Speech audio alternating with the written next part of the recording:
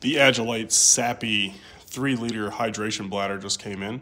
It'll go with my Micro Map back panel that I got in a couple months ago here on my K19 plate carrier.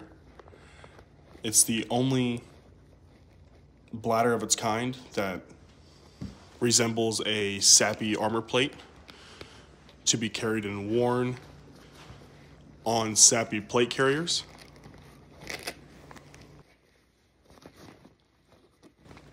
I went ahead and literally just got it, the entire thing installed without much thought within two and a half minutes.